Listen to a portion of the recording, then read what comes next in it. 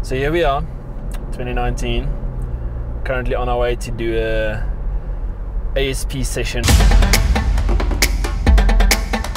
Basically, a cone with a field dubbed as Death Session. And how I ended up here is um, I do OCR for a living, OCR or obstacle course racing. It is the biggest and happening thing currently around in the world of adventure fitness. First time I heard about Warrior, I was in the gym. This guy sitting on the cycling bike next to me, spinning his, spinning himself blue, it's just sweat all over, and he's like, he's training for this thing called Warrior Race. I'm like, Warrior Race sounds crazy. What is it? He's like, no, it's just this thing where you run and you jump in the mud and you carry stuff. And it's like, it sounds crazy. Why would you do that? It's like, no, it's a lot of fun. You should try it.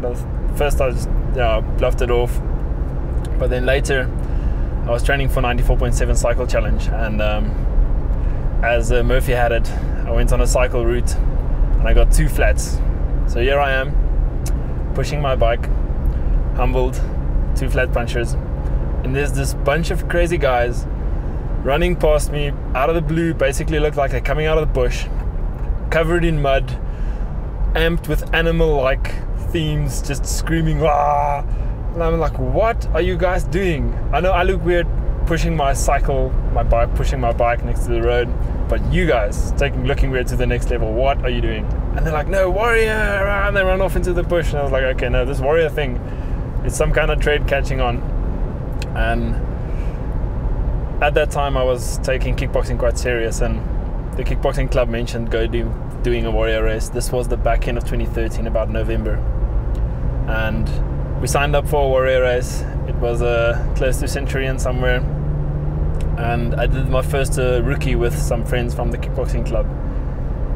And as I was doing it, there was this like I don't know, I want to call it animal instinct, wrong word, but this just childish excitement of running around and jumping in the mud and climbing over stuff and just doing it with all your mates. And as I finished it, uh, I remember seeing Michael Hubert coming over the finish line, winning the, the first Warrior series. And there was this thought in my head of, you know, doing this as a sport or taking it seriously. And I thought to myself, no, okay, cool. I'm going to enter the next one, the first one, 2014, and I'm going to go all, all in. I remember entering, sitting there, um, entering, and there's, there's a tab you can click Elite or just Black Ops. And I had this image in my head of Elite. Elite is like this this pedestal, this thing, you know, people up there are like on their own level. And I thought, okay, no, no, I'm not ready for this whole elite thing. I'm gonna go just Black Ops. So I entered Black Ops, started in the, the first batch behind the elite, about 10 minutes behind. Um, I remember clearly starting, the venue was Higher Safari in Millers-Drift, uh, start of 2014. On the start line, the elites went off and I started in the first batch behind 10 minutes. I started chasing them down and eventually I don't know where I was position wise, just like passing people and people passing you and as I came into the last two obstacles, I, this marshal's telling me, "Go, go, go! You're in second place." I'm like, "What? I'm in second place? That's crazy! Can't be in second place." So they're like, "No, seriously, in second place." I'm like, "Okay, well, this is really good." So I started chasing this. The next next obstacle, I asked the marshal, "Like, how far is this first guy?" And they're like, "No, you'll never catch him. You'll never catch him." He's like, "Ah, ten minutes, you'll never catch him." And then, yeah, it actually ironically grew into one of my good mates, JJ Daisel so he was the first warrior legend, um, crushing the first races. He was the first, uh, the Daisel. You'll never catch him. Yeah, that was quite funny. So I finished the first race, um, second place overall, but I couldn't get podium because of not entering elite. So basically, second race 2014 entered elite and came second again. And I think after that I won two in a row. Somewhere in 2014 I won three in a row. It's yeah, a light came on saying, Thomas, this is your sport, this is what you should be training for. And um, that's where the seed of beast mode started. So from there, um, Warrior Race in general, OCR over the world has basically exploded, grown exponentially um, into the sport that it is today, aiming at Olympics in the future years. And to kind of put it in perspective from how far it's come, if I have to race myself from four years ago, it would be a walk in the park. I think the level of competitivity in OCR has just exploded. The level locally, the level internationally, stuff like World Champs or World's Toughest Mudder, it's become a iconic sport on its own. So locally, Toyota Warrior Race taking the lead in um, pioneering what OCR is in South Africa. Currently, the biggest series in Africa. They have even have a race in Namibia. Um, so, as a shout out, I'll have to say kudos to the sponsors getting in behind it. Um, people like Toyota with their reach and their their enthusiasm and their adventurous style kind of fit in well with the Warrior race.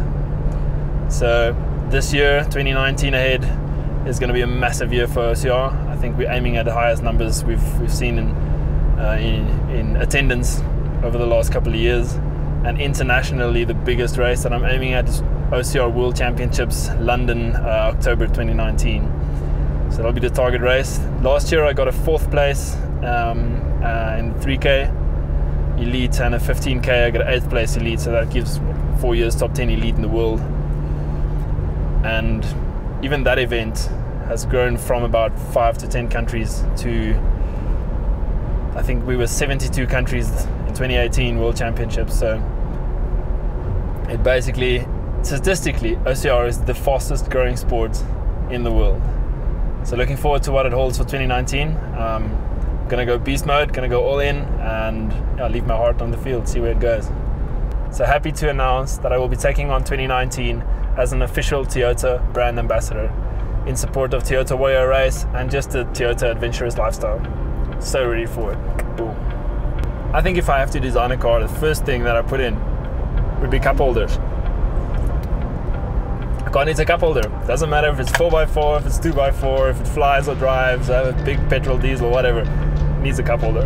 Look at this thing, it has like cup holders everywhere. It has one over here, it has like a cup holder in the door, it has like cup holder, okay, it's a cell phone holder now, but cup holders for days. I was driving a 1995 Toyota RAV4 for the last six years and if I have to describe the service that that car has given me, I don't know what to call it. Uh, yes, we have taken that thing anything from Cape Town to Mountaintop to just like crazy off-roading over the Magalies to just casual road tripping. That car, it has kind of become a lifetime companion. So currently sitting in the 2018 Toyota Fortuner to see where they started and where they're going. Ah, happy days, eh? happy days. It's almost like you're watching a Transformer movie, and then this like old car turns into this super cool, super futuristic car. Yeah, kind of that's that's kind of how I'll explain it.